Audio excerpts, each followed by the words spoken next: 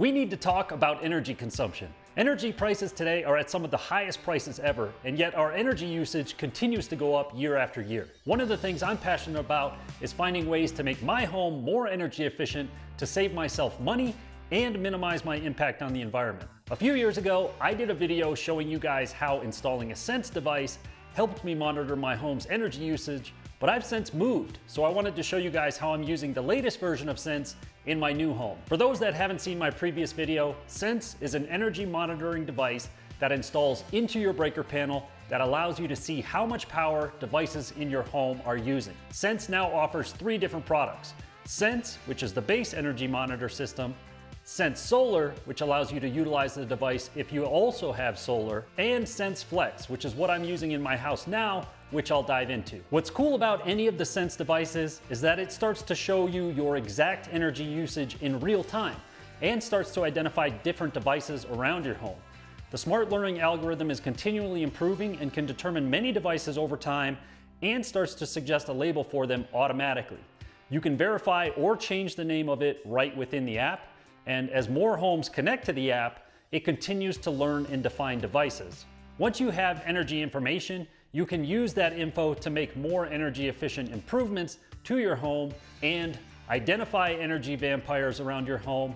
Now, Sense always recommends that you have the device installed by a licensed electrician, which I'm not, but if you're comfortable working with your breaker panel, you can DIY it like me. Now, my home is a little different than most in that I actually have two 150 amp main service panels. So I'm not gonna dive too deep into the technical steps to install it in this video.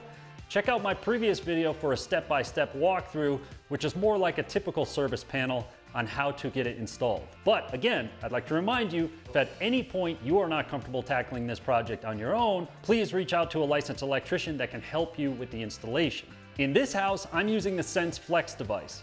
The difference between Sense and Sense Flex is that Sense Flex allows you to do what's called dedicated circuit monitoring. For me, this is really beneficial because I just ran a sub panel out to my workshop, which is going to be the hub of my business. Having the dedicated circuit monitoring will allow me to not only forecast my energy usage for my business, but also allow me to separate my business from our personal energy consumption, which is extremely helpful for budgeting and for tax purposes. Now, if I didn't have the shop to monitor, this would still be a good device because I could focus solely on the circuit that charges our electric vehicle, so I could see exactly how much energy that is using as well and compare that to what the average gas prices are. Sense Flex comes with a second set of CTs or clips that you install around the wires of the specific circuit that you want to monitor.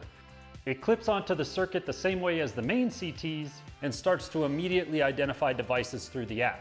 Now I've looked on Amazon and there seems to be a fair amount of negative comments about the device's ability to identify devices, which I think is a little bit unfair because I've found it to be pretty accurate. It doesn't identify every single thing in your home, and especially not right away. However, you can really drill down into it as much as you want by flipping switches around the house, unplugging and plugging things in, and watching your real-time energy reading.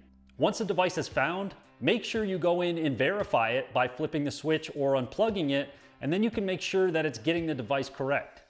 Another cool feature is the ability to set goals with notifications to keep your energy consumption down and see which devices are using the highest percentage of power. Now, I personally think a device like this can definitely be useful for the average homeowner and certainly for someone like myself who is always looking to improve my home's energy efficiency because I care about the environment and also because I'm really cheap. Now the Sense device is a diagnostic tool that can help you prioritize where you focus your home improvement efforts and help you save a substantial amount of money over time. So if you get a huge utility bill and you think that maybe your air conditioner is the culprit, well, you can go in the app and figure it out right away just by flipping on the air conditioning, watching the energy usage fluctuate in real time in the app, and identify that it needs to be replaced or serviced. It's really that simple. So I hope you guys enjoyed this video. I'd like to thank the Sense team for sending over the Sense Flex device. It's been extremely helpful for me, specifically because I get to kind of separate my business from my personal. And if you guys think the Sense Flex would be helpful for you as well, I'll leave more information on the Sense device as well as a link to where you can find it in the description down below. Thank you guys so much for watching, and if it's your first time visiting the channel, please hit that subscribe button and also hit that notification bell so you never miss out on any of the new content I put out. And as always, you can check out all of my DIY and home improvement related content on my website at MrFixItDIY.com. Thanks so much for watching. I'll see you next time.